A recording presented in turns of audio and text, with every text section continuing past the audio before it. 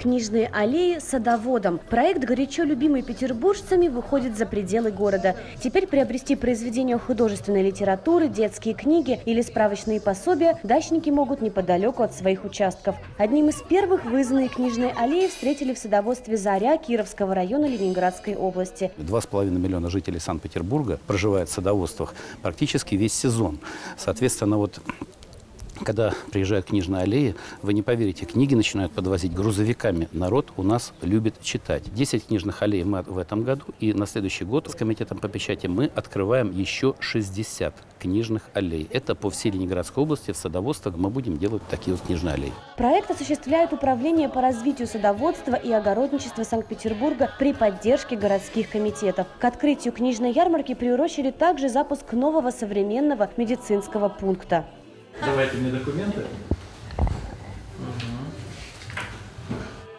Такие вскоре появятся по всей области было принято решение выделить финансирование из бюджета города и в течение трех лет все старые медицинские пункты заменить на абсолютно новые. Сегодня мы закончили строительство и передали здание для медицинского пункта нашим э, уважаемым садоводам, где теперь э, врачи могут оказывать квалифицированную медицинскую помощь. Еще раз говорю, эта помощь оказывается бесплатно, с собой надо иметь только паспорт и э, страховой э, медицинский полис, ну, практически любой страховой компании. Мы сделали такую программу с Комитетом по здравоохранению, вместе с Фондом обязательного медицинского страхования. Я считаю это очень большим благом для садоводства.